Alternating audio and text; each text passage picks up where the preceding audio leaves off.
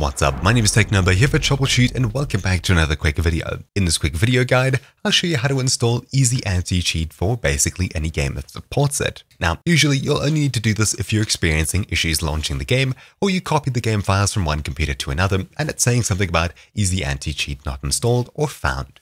If you head across to Google and you type it in, you may land up on Easy Anti-Cheat's official support page where they tell you it's basically included with all games, you're not able to download it. So the absolute simplest thing we have to do is navigate across to the game that's having issues files. For example, I'll head across to Steam and open up Rust. Right-click Rust, Manage, and then click Browse Local Files. This could of course be Gears of War, Apex Legends, etc, etc. When you land up in the game's files, all you need to do is locate and open the Easy Anti-Cheat folder.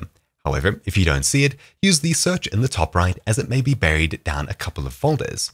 After you locate it and open it up, you'll usually see Easy Anti-Cheat Setup. And once it opens up, you'll see something like this. Now, usually it'll have the game's name instead of just game followed by random numbers, though some games have this weird way. Game 12 is, I assume, Rust, and 473 may be, say, Apex Legends. Anyways, if you open it up in a game folder, it should have the game automatically selected. So, game 12.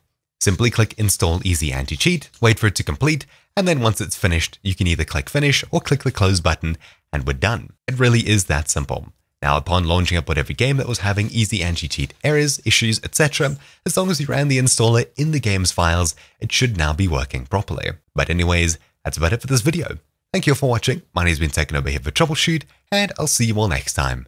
Ciao!